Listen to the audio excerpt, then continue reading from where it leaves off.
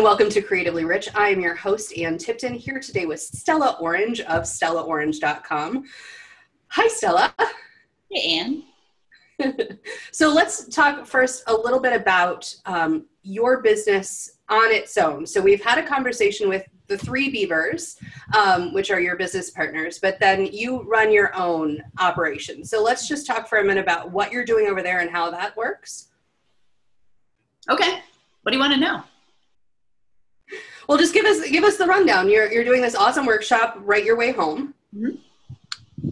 Yes. So um, I have uh, at stellaorange.com. I run workshops. They're really called intro courses for something called Writing Your Way Home, which is basically using writing and looking at the stories of your life to just gain insights and to develop muscle for this thing called life. Uh, and so I take people on, it's a three week intro course. I take people on a handheld tour into my weird, wonderful world of what is a writing practice, what are the stories worth telling in your life? Can you tell those stories differently so that they please you, especially if it's something that you still have a negative emotional charge around? Um, and just some of the techniques that I've used over the years, um, writing to myself in a journal, and then also as a creative commercial writer, as a copywriter. So, so that's writing your way home, the intro course, and then I'm also convening a writing group for people that have things to write. Because for many of us it gets kind of lonely to be working on your writing by yourself. And it also can like slide to the bottom of your to-do list. So i run a writing group called the regulars that meets on wednesday afternoons on video conference. We show up we mute everyone uh, so you can see everyone all across the country and around the world writing but we're not interrupting your process you bring whatever it is that you're looking to write whether it's your journal a piece for publication or performance book, book proposal, uh, a letter. I've got a friend like, oh, I think I want to sign up to do thank you note writing. I want to write thank you notes, but I haven't slotted that in my day. Um, or any, you know, just writing. And so we do that together for about 60, 70 minutes. And then we stop and we have tea and cookies and talk about what we've been writing and just have a little bit of community, a little conviviality. Because what wouldn't make Wednesday afternoon's better, but cookies. So you bring your cookies, I'll bring mine, and we can nibble on them together as we, uh, yes, while away the the, the uh, minutes. So so that's what I'm doing in in Stella Orange. That sounds delightful. And I, I was once a part of your previous iteration of, of this writing thing. And I, I can honestly say that that was just incredibly helpful for me in terms of you know, just carving out the space to do the thing that I was putting off. Personally, hate copywriting. Like, I'm okay at it, but I don't like doing it. And so, having that like fixed space to do that was absolutely huge for me. Um, and also, Stella, I don't know that I've told you this, but I think this is just kind of fun and something to share.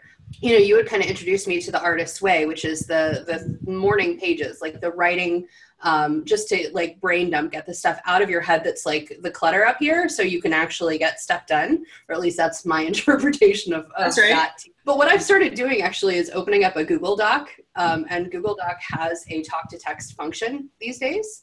Um, and so I am literally using my morning pages like a therapist. Like I am talking out my stuff, and, and, and like in a writing way though. Like it feel it has the same kind of feel as writing to me, but it yep. it it adds that I don't know whatever magic writing has. It has that magic still, and it's really been helpful to get a lot a lot out very quickly. Um, so fun. Um, that's a great writing. technique. So I'm of the opinion that writing is not necessarily solitary. It's not something that has to be done on a computer or a piece of paper. Like I'm often writing when I'm walking the dog because I'm relaxed. I'm taking in information. I'm kind of letting my mind unspool and we all have different processing styles and so this is something especially when it comes like writing for business i've been doing that work for the last nine going on 10 years helping people write for their business and communicate effectively and one of the techniques that i teach people who are natural verbalizers is exactly what you're talking about like let stream of consciousness from writing flow but it doesn't mean you have to like hold up a utensil or a pen or a you know crayon or a pencil in your hand or put your fingers on the keyboard. You can just speak. And so that was what you're talking about is something that we've been doing in my community for the last, I think, four years. And that was called Shut Up and Write.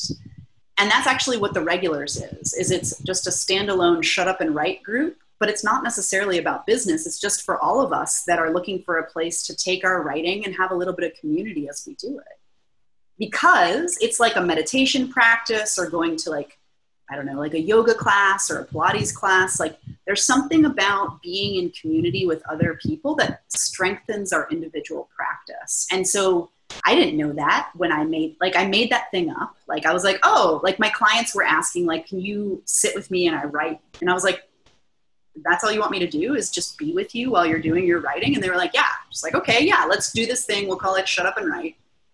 And that became the magic. Like people loved that and I was like, okay, this is interesting. Like many of us are yearning for more time to write our stuff in our lives. And we want to be in cahoots with other people that are doing it. And it's kind of this like writing is kind of an anachronistic, sort of weird, odd activity. And we often don't see it done because it's so private. And so there's something really potent to actually show up to a place on the reg and like like ritualistically write together. Like and it's not collaborative or any of that. It's like it's still a private activity but there's something that strengthens each one of our individual writing practices so that you kind of grease the gears and get it going. And before long i don't know if this was your experience anne but i've heard people do shut up and writes with me and then they can get in the zone whenever they need to write. Or they like get out of like I've worked with a lot of people that like hate writing or their mean old middle school English teacher told them they were crap at writing and they have to like get over that gremlin voice to do, you know, be effective at their jobs or communicate with other human beings in the world. And like writing can be very healing for that. Like I teach techniques and tools like okay, how do you talk to that nasty old crusty grumpy middle school English teacher who like wounded you like how do you heal that? How do you develop a scab around that and like shrink it so that you can get on with yourself? Because you still need to communicate as a human being and you need to use words. And so there's all sorts of things that you can do with your imagination that like balm like apply a balm to that stuff.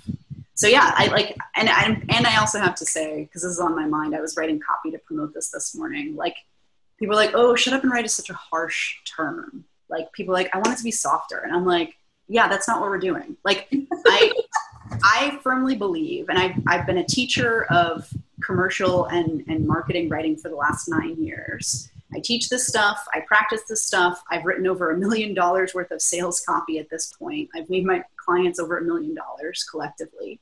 And what I've learned is you don't get better necessarily by studying writing. You get better by doing writing and then talking about it and that's not for the, the faint of heart. Like it's like there's a whole bunch of people out there and i'm sorry that i'm just being like bitchy about it but i feel strongly about this. Like there's a whole bunch of people that would just rather fetch about like how hard it is for them or how it hurts to write or what someone said to them that they decided they were going to believe that person had more authority and like knows more than them and they were going to internalize that and be like oh yeah i do suck at writing.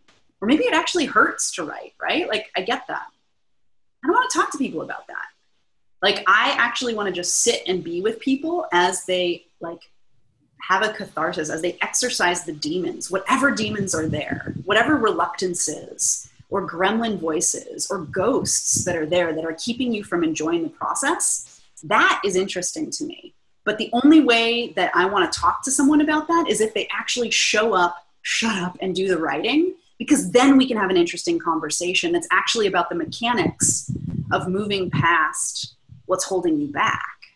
But there's a whole bunch of people that are more attached to being held back than they are in actually having the life that they desire and that they crave. And like, those aren't my people. Like, that's really tedious to talk to those people because they're so attached and so invested to how they're the victim. So I'm like, yeah, we're not doing that. We're doing shut up and write. If you don't want to shut up and write, like, I don't, I, I can't be there for you because I want to be with people that actually do the work. End of soap. I love it. Well, and I think that's honestly like I'll, I'll, be completely transparent. I got a D in sixth grade English. Okay. Yeah. and that like like did you carry that for a while? Uh, girl, I'm still carrying it. Like yes, part of the reason that like that's why I need the Google Voice thing to to get me through is because I don't have to worry about my grammar. I don't have to worry about my punctuation. I don't have to worry about my spelling. I can't spell to save my life, and I have right. great shame around that but that doesn't mean that I can't be a, a good writer, right? Like I don't have to be able to spell to be able to write well. well, and I, I, say this as a former classroom teacher. Like I used to teach high school and I taught middle school for a time, and like like part of my frustration with the public school system, and not you know I, I taught in the United States and in Asia, like is that we penalize people for making mistakes. And I was like, no, like the mistakes are actually where the interesting things are. And like you may never be a good speller, but it doesn't mean that that exempts you from being an extraordinary communicator or someone who has something to say. And so I think somewhere along the development of, of you know, standardized institutional education, we've lost track of like, we're just human beings here having a human experience, like trying our best to express what it's like inside this meat suit and like connect with other people having another experience so that we can like commune with one another and maybe solve some problems while we're at it. And so it's like you don't there's so much trauma that so many people have around writing or just saying what's going on inside you. And like I'm not okay with that. You're a writer, Anne. You just process it and you've now thrown your arms around like this is my process. I need to verbalize the words. That works for me. And what works for you might be different than work, what works from you know john doe jane doe down the street. Cool. Like that's awesome. I'll show up for that. Like so for many of us we've been holding these like wounds for so long and we think we're doing it wrong. I'm like no. What if you've been doing it right like I, apparently I need to rant today. Thank you for giving me a platform to do so. May be entertaining for all those tuning in. For the longest time, people like poo-poo procrast. I love that. They poo-poo procrastination. Like people are like, oh, I procrastinate. I need to be more productive. And I'm like, what? What? No, you're not a machine. You're a human being. Like, chill the F out, slow the F down, and just enjoy. Enjoy this. And what if like what if your procrastination is actually part of your creative process? And people always get their feathers ruffled when i talk about this but like i remember i used to have that mindset as well where i was like oh i'm such a procrastinator. And i was like that's basically being abusive to myself. And i'll just speak for me like maybe you are a hideous horrid procrastinator and it's just gutted all your your hopes and dreams in life. Like okay get get a psychiatrist but for me, it was like I'm actually at war with myself when I say that I am procrastinating. And instead, what if I look at it through the frame of this is part of my creative process? Like, if you've ever watched, I don't know if Gizmo does this, but like, if you've ever watched a dog before they lay down, like they circle around a couple times before they lay in their dog bed or they curl up in your lap. I'm like that with tasks. Like I actually need like my procrastination for like I'll submit for our cons- collective consideration. What if our procrastination is just like a dog walking around in his or her bed before it lays down? Like what if there is a what my husband calls in the boudoir an initiation sequence? Which I'm here to say there is, right? Like that is real. Like why why make that wrong?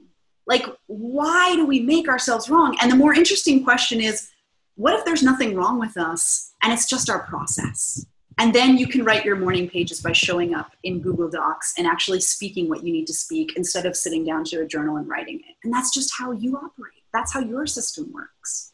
And so that is a fascinating conversation because we're all built slightly differently. And that's what i love is when we start to have this conversation about well here's what works for me and then this still doesn't work for me. Well, what have you tried? And what have you tried? And there's this beautiful cross pollination of ideas where we all get our needs met, but maybe in a slightly different way. But it's, yeah, like we need more of that conversation in the world. And I just happen to show up to do that around writing and like making up stories.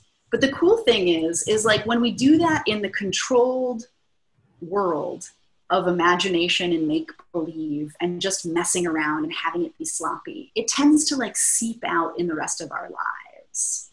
And it starts to show up in our careers and our relationships and our conversation with random people and strangers at the grocery store. And like, that's the riot. Like, that is the revolution. I think that's a perfect place to end the interview, Stella. that is the revolution Mic drop. There we go.